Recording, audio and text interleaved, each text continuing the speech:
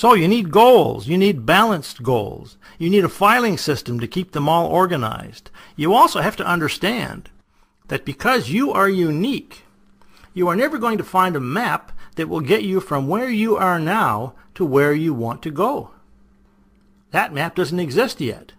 You will need to create it. You see, if you look on a map of Victoria for Anthony's place, you'll never find it. It doesn't appear on any map. And if you thought that I knew where I was going, and that by following me you could get to where you want to go, you'd find that when you arrived at my place, I wouldn't let you live there, because that's where I live. You have to find your own place.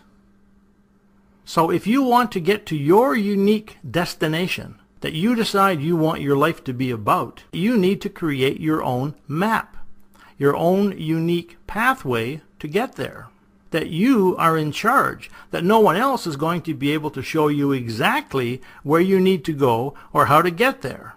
Now, a lot of people think that by following other people, they will get to where they want to go. But we both know what that's like.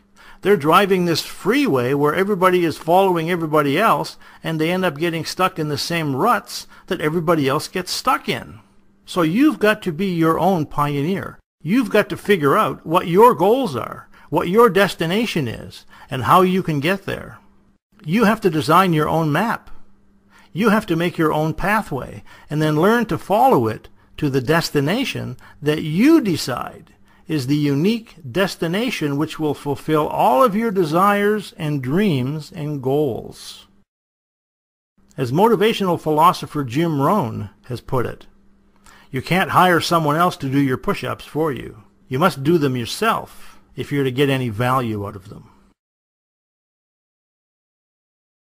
Understanding the central idea behind this mental magic program, that you can take a concept in your mind, an image, a wish, a fantasy, a dream, and turn that into physical reality, that in fact you are a magician, is the essential basis for this whole program.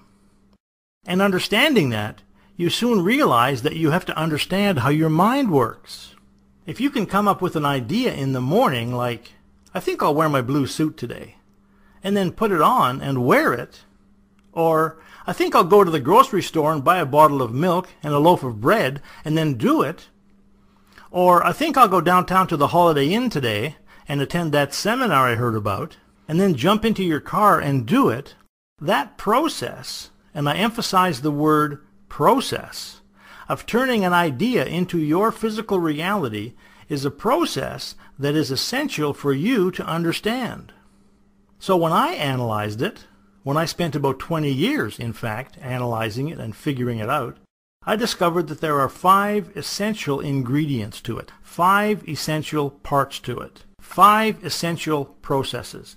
And the first of these five parts is to gain an understanding of the idea of goals understanding that you have to have your own goals, that you have to be able to decide on your goals, that if you have goals, you can be successful, and that if you don't have goals, you will never be successful.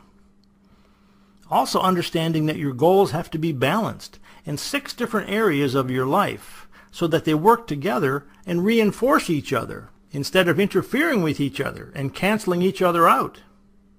Understanding that reaching your goals is a process that you move from one goal to another, that each goal you reach empowers you and makes it easier to reach more of your goals, so that your life grows more and more successful each day as you engage in the goals process. The second thing to understand is your imagination. That the imagination is the thing that gives you ideas, that gives you the information and the answers that you need to prioritize your goals and to balance and organize your goals, to create your map, to design your personal plan of action. Also, to understand that your imagination is a connection. It's like a pipeline through which ideas flow into your mind from the past, in the form of memories, and from the future, in the form of intuition, and that you can use these ideas and this information to make choices as to what to do and how to do it. So you can attract more opportunities. so you can recognize the opportunities that are around you already to create or to attract your dreams and your goals. The third thing you need to understand is the idea of motivation. You see, nobody is going to force you to do the things that you have to do to reach your goals. If you have a certain income goal, nobody's going to beat you with a stick so that you can reach that goal. If you want to change your body, gain weight, lose weight, become healthier, stop smoking, start exercising, Nobody is going to force you and push you to do that. Nobody is going to motivate you to do the things that you need to do to reach your particular destination in your life. And yet all of us are hoping that will happen. All of us are hoping that somebody else will force us to be successful. So there are three kinds of motivation that you need to understand. The first kind of motivation is motivation through incentive. Now this is what your boss uses on you when he says to you, if you increase your productivity this month, I'll make sure that there's a little bonus in your paycheck. That's motivation through incentive. And it works for a while. Very effectively for a while. And the second kind of motivation is motivation through a threat. Hey, if you don't improve your productivity this month, you won't get a paycheck. Now these are the two kinds of motivation that most people experience. They are the two kinds of motivation that you see when you look around the world.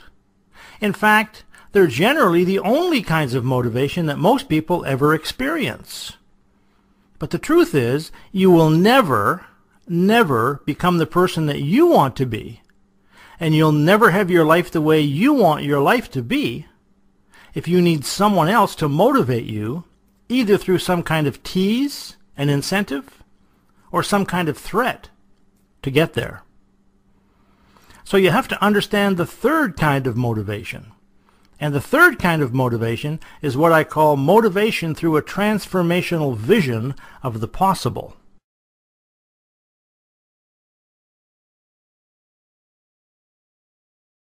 There was a very famous book written in the 1930s called Think and Grow Rich. I'm sure many of you listening to this recording have read it. And in that book, Napoleon Hill says, what you can conceive and believe, you can achieve. So I started with that book some years ago, and I asked myself, so what does it mean to conceive something? And what I discovered is that to conceive means to have a concept or a mental picture of something. So you have a concept or a picture of your goals. You have to use your imagination to visualize your goals, to conceive your goals. And I also asked, what does it mean to believe? And what if you don't believe? Or what if you believe some of the time, but some of the time you don't? And what if your belief is only 30%? Or 40%? Or 20%? Then what? And what I eventually figured out is that a positive belief can be strengthened. It can be cultivated. It can grow. On the other hand, a negative belief can be uprooted and deleted from your mind. But in order to attain this level of certainty and clarity and ability, it takes consistent effort. That we need to engage in a process, there's that word again, of clarifying our vision and of cultivating our positive beliefs. So that if our belief is 20% or 30% or 40%, we can cultivate it so that it's 60, 70, 80, 90, 100% in our ability to achieve our goals. So you have to believe that it's possible. You have to believe that your goal is possible for you. Now, can you hear what I'm saying? Can you get this picture in your mind? Can you grasp the strength of what I'm describing here? You see, any successful athlete, any successful business person, any successful politician, any successful person, period, is successful because they have an idea in their mind, in their imagination, of what is possible for them. They have a vision of what they want in their life, of what they would like their life to be about. They have a vision of the kind of person that they would like to be. They have a vision of the kind of relationships they would like to be involved in, of the kind of health they would like to enjoy, of the kind of contribution they would like to be making to their community. And they have done the necessary work to build their own belief in their ability to create that vision for themselves. And it's this combination of vision and belief that Napoleon Hill was talking about in Think and Grow Rich. It's this combination of vision and belief that I call a transformational vision of the possible. It is this that motivates you to do the kinds of things you need to do to put yourself in the position where you can step inside that vision and make it real for yourself. And you can do it. So that's self-motivation.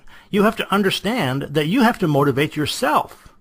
And that's what this program is all about, explaining how to do that exactly explaining how to conceive of the vision, how to get the ideas, get the dreams, how to balance those dreams, those goals, in six different areas of your life, how to build your self-confidence, how to develop your internal belief in yourself so that you can overcome the obstacles you face to stepping into that mental movie and bringing your vision about as a physical reality in your life.